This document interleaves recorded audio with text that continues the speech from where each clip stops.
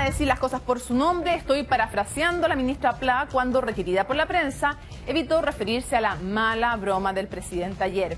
Él sostuvo que aplicaría el principio de la minifalda, que tiene que ser lo suficientemente larga como para tapar lo necesario y suficientemente corta para llamar la atención. ¿Buena la broma? No. Mala.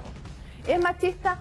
Sí, evidentemente, porque alude a que las mujeres tendríamos que usar nuestro cuerpo para llamar la atención. ¿Podemos creer al presidente que no quiso ser machista? Yo creo que sí, pero aún sin quererlo, lo fue. Y resulta más complejo porque no es la primera vez. Hace tiempo, cuando afirmó que cuando una dama dice que sí, no es una dama. En la campaña invitó a jugar a que ellas se hicieran las muertas en el suelo y ellas se tiraran encima para hacerse los vivos. Y el 1 de junio le comentó a la presidenta de la Cámara de Diputados tan linda que se ve y tan dura que es. Si el mandatario y su entorno no entienden que todas esas frases son machistas, la cosa es peor.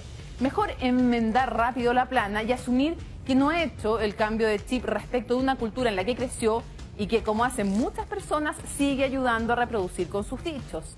En el gobierno pasado, la ministra Schmidt criticó este humor del presidente. Ahora la reacción de una incómoda ministra Pla diciendo que este gobierno se preocupa de los derechos de las mujeres ha sido mala, no porque no sea cierto, sino porque una cosa no quita la otra.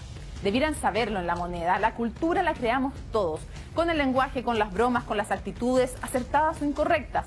Entonces, es una broma, pero la dice el presidente de la República. Es un chiste, pero es algo serio a la vez, porque es con esa cultura arraigadamente machista con la que debemos terminar, porque con o sin minifalda, las mujeres merecemos que se nos ponga atención. Eso opino yo. ¿Y tú? ¿Qué opinas?